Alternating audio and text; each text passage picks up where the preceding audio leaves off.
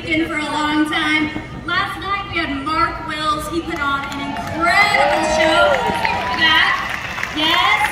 Tomorrow night is the frontman, so make your way back to the park, ride some roller coasters, eat some funnel cake, and then come and enjoy an amazing concert.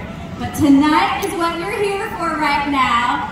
And so without further ado, I want you to put your hands together for a six-time country music vocal group of the year, Grammy Award winners, and stars of the Grand Ole Opry, Diamond